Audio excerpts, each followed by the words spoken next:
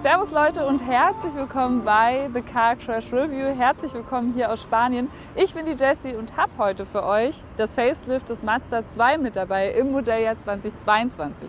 Falls ihr heute alles zu dem wissen wollt, dann bleibt jetzt gerne dran. Abonniert auch unseren Kanal The Car Crash Review, würde mich tierisch freuen. Hier gibt es nämlich jeden Tag ein Video von Jan oder auch von mir. Hier seid ihr bestens informiert.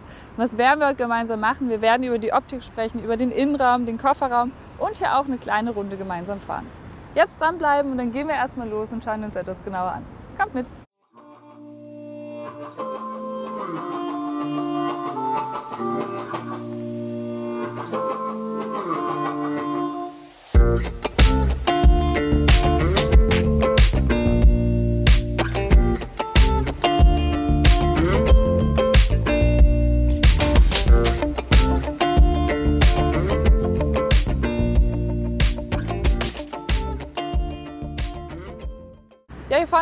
Angekommen, vielleicht erstmal zu unserem Kooperationspartner und zwar ist es GoLeasy. Was machen die Jungs? Das ist eine Vergleichsplattform für Leasingangebote und die vergleichen für euch unter Anbietern wie Leasingmarkt oder auch Vehiculum und da findet ihr garantiert euren besten GoLeasy-Preis.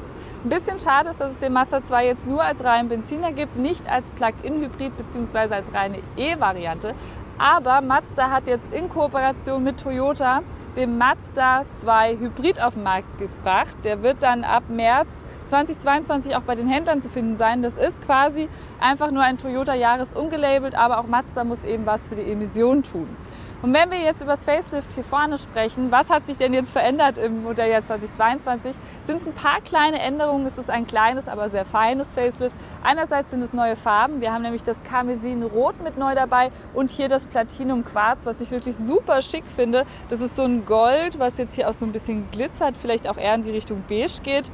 Und dann haben wir noch zusätzlich die Option eben Matrix LED Leuchten zu wählen. Serienmäßig bekommt ihr Halogenlicht mit LED-Tagfahrsignatur, optional eben dann auch das Matrix-LED-Licht mit bis zu 19 LED-Elementen. Und da ist jetzt die Frage, was bedeutet das überhaupt? Ja, ihr habt damit quasi ein permanentes Fernlicht, könnt damit den Gegenverkehr abblenden, aber auch Schilder anblenden und es ist super gut, auch vor allem eben für die Fahrzeugklasse.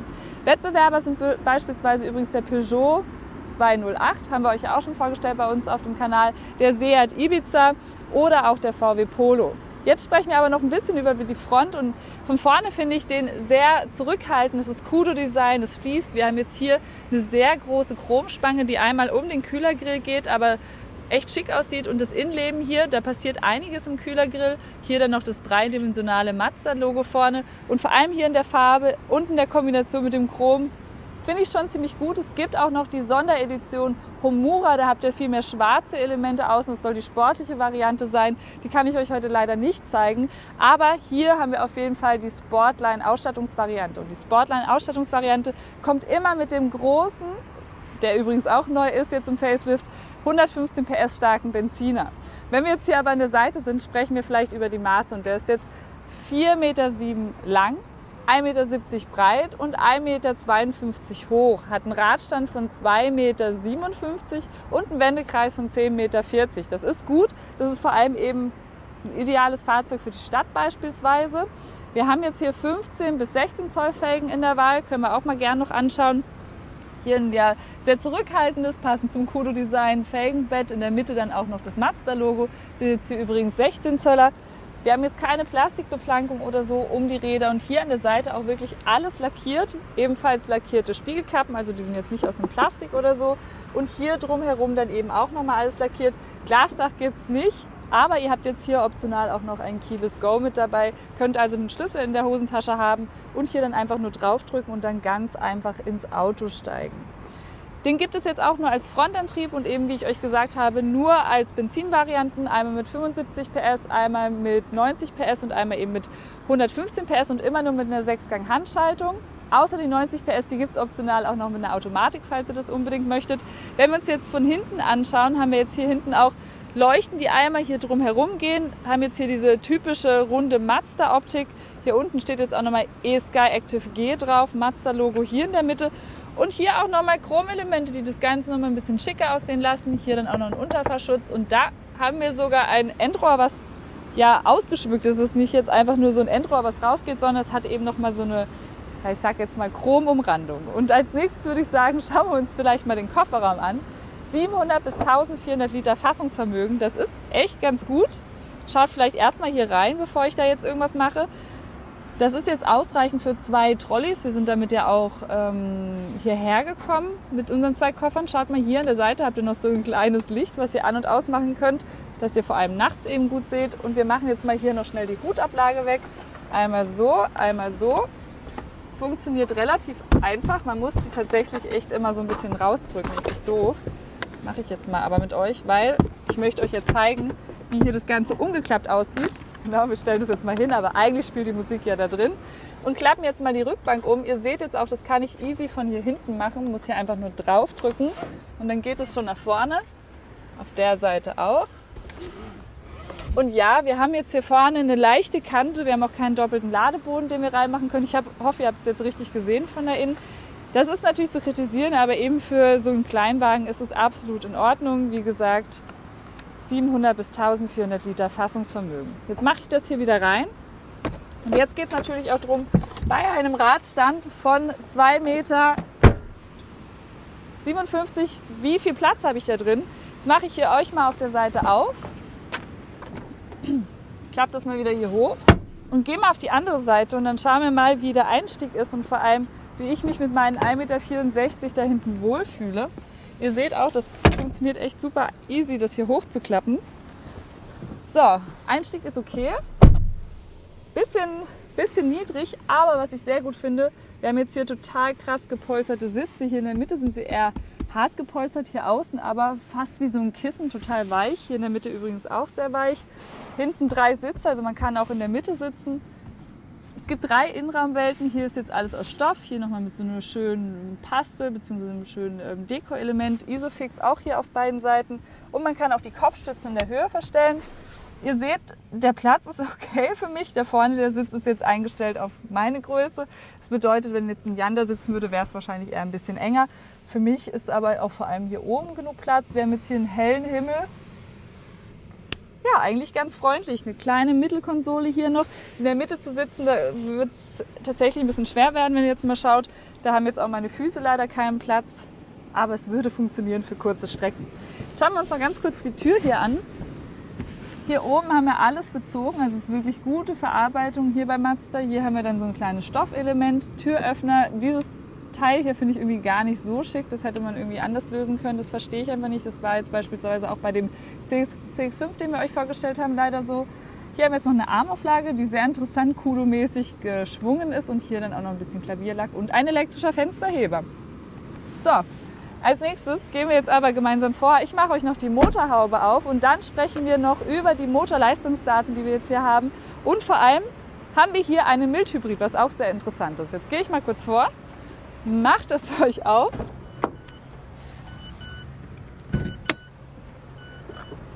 Und ich habe ja eigentlich jetzt schon ein bisschen was erzählt zu den Motorleistungsdaten. Wir haben jetzt hier eben ganz neuen Facelift den 115 PS starken Benziner. Das sind alles Vierzylinder. Es gibt den auch noch mit 75 PS bzw. mit 90 PS und die 90 PS Variante eben mit Automatik oder Sechsgang Handschaltung und ihr bekommt ein 22,5 Volt System bei dem 90 PS Motor und hier eben bei dem 115 PS Motor. Das führt dazu, dass wir einen viel besseren Verbrauch haben, hier in diesem Fall nach WLTP von 5 Liter. Der hat 151 Newtonmeter maximales Drehmoment und ist in knapp über 9 Sekunden auf 100. Wie er sich genau fährt, werden wir gleich besprechen. Ich mache jetzt hier vorne aber erstmal zu. Wir schauen uns gemeinsam dann noch den Innenraum an die Sitze vorne, das Infotainment-System, das Head-Up-Display und anschließend fahren wir gemeinsam mit Jan hier noch eine kleine Runde und dann gibt es noch ein Fazit und ich werde euch versprechen und erzählen, was der so kostet. Kommt mit! Weiter geht es jetzt hier mit dem Innenraum und erstmal, ich habe ganz vergessen euch zu sagen, dass es ja vier Ausstattungsvarianten gibt. Center Line, Prime Line, Exclusive Line und die Sports Line, die haben wir jetzt hier auch drin. Bei dem 115 PS starken Benziner. Eine andere Variante bekommt ihr da leider nicht Homura kann ich euch ja auch leider nicht zeigen. Es gibt drei Innenwelten jetzt hier im Innenraum. Wir haben jetzt hier graue Stoffsitze, die gut gepolstert sind. Schaut mal, wie groß jetzt hier die Kopfstütze ist. Hier haben wir nochmal so ein kleines Designelement. Das sieht vielleicht ein bisschen veraltet aus, aber hier an der Seite ist es dafür umso mehr gepolstert, umso besser gepolstert. Das Einzige, was ich kritisieren muss, hier unten ist es ein bisschen hart, der Schaumstoff hier drunter. Das hätte ich mir ein bisschen weicher gewünscht. Und wenn wir uns jetzt gemeinsam die Tür anschauen, finde ich die hier sehr Kudo-mäßig. Die fließt, die ist was ganz Besonderes. Wir haben die Armauflage und dann nochmal den Fensterheber, die da so ineinander schwingen. Was mir nicht so gut gefällt, ist die, dieser rote Knopf da. Ich finde aber dann umso besser eben den Türöffner, der in dem Chrom dann nochmal so hervorblitzt. Wir haben jetzt da nochmal sehr viel Stoff und unten ein bisschen Hartplastik, da wo dann auch eine Flasche Platz findet, eine große Flasche sogar, was auch ausreichend Platz mit sich bringt. Hier unten haben wir dann die Mazda 2 Fußmatte, die sieht auch zurückhaltend aus. Wir haben ein Handschuhfach, was innen aus Plastik ist. Wir haben jetzt hier auch ausreichend Platz. Aber wo kein Plastik ist, ist jetzt hier im Rest vom Auto. Wir haben jetzt hier nämlich alles bezogen. Hier jetzt das aufgesetzte Infotainment-System, was wir gleich besprechen werden. So eine kleine Chromleiste jetzt hier. Zwei Lüftungsdüsen, die man in die Richtung einstellen kann. Und hier kann man eben auch nochmal eine Richtung einstellen. Und das finde ich schon ganz schön gut. Und auch hier übrigens, wo die Knie dann immer ab und zu das Fahrzeug berühren, ist auch noch alles gepolstert. Nur hier unten ist ein bisschen Haarplastik, aber das finde ich überhaupt nicht schlimm. Chrom jetzt um die Sechsgang-Handschaltung. Ihr bekommt ja Leider keine Automatik bei den großen Benziner, aber dafür bei dem 90 PS ähm, Benziner bekommt er eine. Hier rüber steuern wir gleich das Infotainment-System. Hier dann auch noch zwei Cup-Holder und da hinten auch noch mal so ein kleines Fach und sehr cool. Einerseits haben wir hier eben die Möglichkeit, das hier rauszunehmen, können uns das selbst strukturieren und andererseits gibt es hier so einen kleinen Carbon-Look, was auch ganz schön cool ist. Was wir jetzt als nächstes machen, ist vielleicht, dass Jan mal reinkommt und wir besprechen jetzt gemeinsam das Lenkrad. Das ist jetzt sehr rund. In der Mitte haben wir dann das Mazda-Logo. Hier unten dann auch nochmal so eine Chromspange, dreispeichig.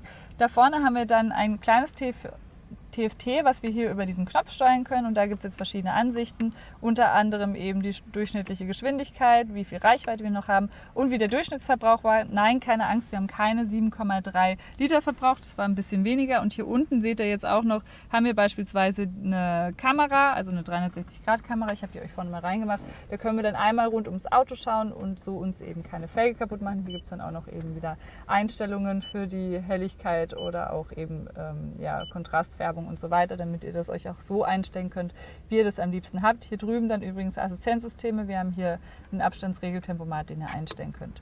Als nächstes zeige ich euch vielleicht noch ganz kurz, dass ihr hier auch noch eine Klimaanlage habt, die ihr einstellen könnt. Ganz einfach per Drehregler. Hier seht ihr dann immer, wo ihr gerade seid. Temperatur ist so einstellbar und hier dann von welcher Richtung es kommt. Das ist sehr einfach, intuitiv und auch hier haben wir wieder ja diesen Carbon-Look und leider keine induktive Ladefläche fürs Handy, aber wir haben jetzt hier zwei USB-Anschlüsse und können so das Handy eben laden und hier unten ablegen. Übrigens ab der Exclusive Line bekommt ihr dann das Apple CarPlay auch wireless mit dabei.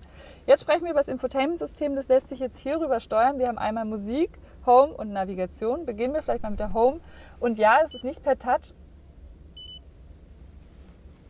und ja, es ist auch per Touch steuerbar, aber ich würde es am liebsten hier immer über dieses kleine, über diesen kleinen Drehregler hier steuern. Wenn ich jetzt hier auf Home gehe, haben wir alles zum Thema Musik, Unterhaltung, Apple CarPlay, Android Auto, wie gesagt, funktionieren. Wenn wir jetzt hier wieder zurückgehen, ich habe hier auch so einen Zurück-Button dafür, haben wir jetzt hier noch alles zu Kommunikation, können eben das Telefon äh, verbinden, wie ich euch gerade schon gesagt habe.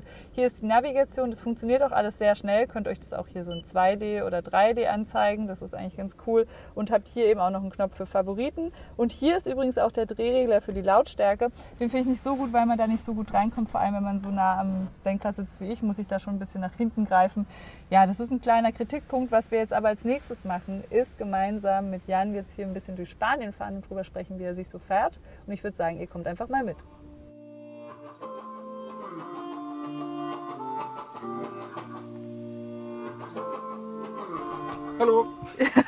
Ist jetzt auch mit dabei. Bist du müde? Ich bin sehr müde. Ich bin kein Morgenmensch. Ich bin noch ein bisschen beeindruckt, wie du das geschafft hast, heute Morgen schon zu moderieren. Chapeau. Dankeschön, Dankeschön. Jetzt schauen wir mal, ob ich es auch schaffe, so früh am Morgen zu fahren. Wir starten jetzt den Motor. Da vorne fährt jetzt das Head-Up-Display hoch. Ich sehe die Informationen ganz gut. Die sind zwar ein bisschen klein, aber ich finde so, entweder Head-Up-Display haben oder nicht haben. Ich finde haben ganz gut. Wie findest du es? Ich sehe es anders. Also so eine kleine Plexiglasscheibe da vorne, Statement mag ich nicht bei keinem Hersteller. Wenn in die Scheibe oder gar nicht. Schau mal, da vorne ist ein Hund, der ist so groß wie unser Auto. Eieieiei. Jetzt fahren wir gemeinsam los. Der ist echt riesig. Ei, Was ist das für ein Hund? Ich habe keine Ahnung. Wenn jemand weiß, was das für ein Hund ist, schreibt es in die Kommentare. Ein Pudel, oder? Nee. Ja, doch, ein Pudel. Kann ein Pudel sein. Doch, Pudel Hallo. und Windhund. Hallo, Pudel, hallo. Ja, und jetzt vielleicht erstmal zur Schaltung. Wir haben jetzt hier sechs Gänge. Es gibt ja optional auch noch die Automatik bei dem 90 PS. Jan hat gestern in seinem CX5-Video gesagt, dass er findet, dass Mazda mit die besten Schaltungen macht. Ich Handschaltung. Handschaltung, ja. Entschuldigung. Finde ich auch. Kannst du erklären, warum? Also BMW macht bestimmt knackigere Schaltungen, ne? Lambo auch, Porsche wahrscheinlich auch. Aber was die hier können von Mazda ist, die sind sehr smooth. Die verzeihen viel, ähnlich wie ein Küblerschläger, also so ein Schläger mit viel zu großem Kopf. Und ähm, ja, selbst jemand, der nicht so gut schalten kann, äh, fühlt sich da abgeholt. Jetzt schaut mal, hier ist jetzt ein krasser Bordstein. Wir haben jetzt aber eine Bodenfreiheit von 14 cm, 14,7. Das ist ganz gut. Und jetzt schaut mal, hier ist jetzt extra am Meer für euch ein kleiner Spot, in dem wir jetzt mal hier den Wendekreis testen. 10,40 Meter ist sehr gut für die Stadt. Schaut euch das mal an. Ich komme jetzt hier sehr easy rum. Auch ein bisschen mutig jetzt Ein gerade. bisschen mutig gewesen, aber es passt auf jeden Fall. Fahrradfahrer, ja. Ja, auf jeden Fall. Wendekreis passt, Bremsung passt auch ganz schnell. Und jetzt beschleunigen wir mal ein bisschen durch. Und- Knackig. Ja, es sind auch schon auf 50, so schnell geht's. Ja, die 115 PS sind schon äh, solide, die machen schon Fun. Die gibt es ja jetzt auch ganz neu in dem Facelift. Wie fandest du, wie er sich so gefahren ist? Otto ist nicht schwer, ne? wiegt nur 1,1 Tonnen Ja. etwa. Äh, Ich finde den sehr knackig. Ich bin hier reingesessen, war flink, war wendig, hat wieder richtig Fun beim Autofahren. Ja. ganz ehrlich, weil ganz viele Leute denken ja immer, ich brauche ein Mini, ein City-SUV, was Großes, was Schweres, ein Porsche Cayenne. Aber so ein Kleinwagen eignet sich halt perfekt für die Stadt. Nicht nur, weil er halt wendig ist, sondern weil man auch schon guten Parkplatz findet. Der Wendekreis ist gut. Man kommt schnell vom Fleck. Und man hat halt auch in der Stadt, wo man ja viel anfahren, viel bremsen muss, einen ganz soliden Verbrauch. Stimmt's? Ja, apropos Verbrauch. Angegeben ist er ja bei 5 Litern. Wir haben jetzt so 5,5 bis 6 Liter gebraucht, was eigentlich ganz gut ist, auch wenn da jetzt 7,3 vorne auf der Uhr steht. Ist jetzt halt gewesen, weil Jan noch mal ein paar äh, Drifts gemacht hat. Nein, Quatsch, weil er jetzt noch mal ein bisschen hier Frontwheel Drift. Frontwheel Drift gemacht hat. Ähm, nee, also 6 Liter sind eigentlich echt gut. So, Jan will, dass ich da rüberfahre. Mhm. Vorhin sind wir aber da rübergefahren. Naja. Ähm, und es gibt ja auch noch die Hybridversion, ne? Die Jahreshybridversion. Soll ich es mal kurz erklären? Ja. Mich hat zwar niemand gefragt, aber ich hoffe, ihr vertraut auf mein Expertentum. Also, ähm, Hybrid. Was hat man gemacht? Interessanterweise heißt der, der Toyota Yaris in den USA ähm, Mazda 2. Weil Mazda wahrscheinlich die äh, be bekanntere Marke da ist, keine Ahnung. Jedenfalls baut Toyota ja den Yaris als Hybriden und ähm, ja, Mazda kauft den. Die haben eine Kooperation, der wird einfach umgelabelt. Ich glaube wirklich fast sogar die Schriftzüge sind gleich, nur das Logo vorne und hinten ist anders. Jetzt ist mir eine Sache noch ganz wichtig. Der Verbrauch hier ist so gut. Plug-in-hybride Technik ist natürlich sehr teuer. Ja? Ähm, das lohnt sich für die Hersteller in so einem Auto hier nicht. Wir haben im Peugeot 208 zum Beispiel ja eine vollelektrische Version. Das macht dann finde ich schon mehr Sinn. Aber bei dem Verbrauch hier ist, finde ich, eine äh, hybride Version. Ähm, es Sorry, ich war jetzt nicht über den Schotter. Okay, ist okay. Eine hybride Version? Ist, finde ich, eine hybride Version vielleicht sinnvoller oder dann eine vollelektrische für die Stadt. Mhm. Schreibt uns mal gerne in die Kommentare, was ihr euch dann bei diesen kleinen Autos für Antriebe wünschen würdet. Oder äh, für ich, viele sagen ja, ein Diesel lohnt sich hier nicht, weil man ja sowieso so wenig fährt. Aber ich finde eben doch, dass sich auch hier ein Diesel lohnen würde. Gibt es jetzt hier nicht, ne? Und nee, gibt's nicht. Das finde ich auch schade. Aber es gibt hier eben dieses 22,5 Volt Bordnetz. Ne? Und das unterstützt beim Anfahren und macht den Verbrauch eben ja deutlich besser, nachhaltiger. Und vor allem, wenn man das so mit der Konkurrenz vergleicht, auch manche Wettbewerbe, die ich euch vorhin genannt habe, ist der hier schon ganz gut mit den 5 Millilitern nach WLTP. Hat der hier dieses neue Verdichtungsverhältnis von, von das ist ein bessere Verdichtungsverhältnis? Ich glaube schon. Auf Ja. jeden Fall ist der Verbrauch hier, glaube ich, fast um 20 Prozent ja, besser geworden. Mhm. Lenkung ist übrigens auch ganz gut. Wir haben jetzt hier keine Fahrmodi oder so drin, aber die ist ja für die City, würde ich jetzt sagen, ganz, ganz easy. Ist eher komfortabel ausgelegt. Was würdest du sagen? Ja, so eine Mischung, ganz rund. Die Mazdas machen das ja immer generell ganz gut. Man hat hier kaum Verstellmöglichkeiten, aber die Autos, ja, fahr grad aus. Fahrwerk? Aber, ähm, Fahrwerk auch gut, ne? Die, Also keine Verstellmöglichkeit, aber die Autos sind halt sehr rund abgestimmt, finde ich einfach. Ähm, so nahezu für jede Verkehrssituation, Alltagssituation gut. Aber es ist immer ein Kompromiss. Ja, noch irgendwas Wichtiges? Ich glaube nicht, oder? Hier, noch irgendwas Wichtiges, Jan? 44, 44 Liter Tank haben wir jetzt hier, ihr habt ja vorne schon gesehen. Wir haben damit ungefähr eine Reichweite von 500 bis 600 Kilometer. Da muss man auch nicht so oft tanken gehen. Finde ich ja irgendwie auch wichtig so im Alltag. 6 Liter wir brauchen, ähm, haben wir, ja, kommt hin. 600 Kilometer weit. Ja. Sehr gut. Okay, dann würde ich sagen... Fazit. Ja. Weiter geht's jetzt mit meinem Fazit und erstmal schreibt mir gerne in die Kommentare, was haltet ihr von Mazda 2? Ich glaube, ihr findet ihn ganz gut, weil sonst hättet ihr dieses Review wahrscheinlich nicht bis zum Schluss geschaut oder ihr wolltet jetzt halt eben noch ein bisschen den spanischen Strand sehen. Aber jetzt geht es darum, wie ist mein Fazit zum Mazda 2 Facelift. Es ist ein kleines, aber sehr feines Facelift. Es ist aber ein sehr solides Auto und vor allem ein sehr solider Kleinwagen mit allem, was ich so brauche und vor allem ist der Preis unschlagbar. Ich werde ihn euch gleich am Schluss verraten. Die neuen Farben finde ich sehr schick, auch die Matrix LED-Funktion ist sehr gut und jetzt geht es natürlich darum, warum gibt es eigentlich kein Plug-in-Hybrid in der Klasse? Ja, weil es einfach viel zu teuer ist. Deshalb ist ein Hybrid eine gute Alternative, wie bei dem Jahres, den wir euch ja schon vorgestellt haben, oder eben auch bei dem Mazda 2 Hybrid, der ab März auf den Markt kommen wird. Aber jetzt geht es hier um den Preis und der beginnt bei sagenhaften 14.500 Euro, was wirklich klasse ist. Hier jetzt mit der großen Motorisierung, die übrigens sehr viel Spaß gemacht hat, der hat Bums, der ist total ausreichend für den Alltag, beginnt er bei 22.800 Euro in dieser Ausstattung. Das finde ich einen soliden Preis für ein solides Auto. Wen das auch freut, ist unser Kooperationspartner GoLeasy. Was machen die? Das ist eine Vergleichsplattform für Leasingangebote und die vergleichen für euch unter Anbietern wie Leasingmarkt oder auch Vehiculum und da findet ihr garantiert euren besten GoLeasy-Preis. Hier seid ihr aber gelandet bei The Car Crash Review. Hier gibt es jeden Tag ein Video von Jan oder auch von mir. Hier seid ihr bestens informiert. Abonniert daher gerne den Kanal, würde mich tierisch freuen. Und dann hoffe ich, dass wir uns beim nächsten Mal wiedersehen. Bis dann, Freunde!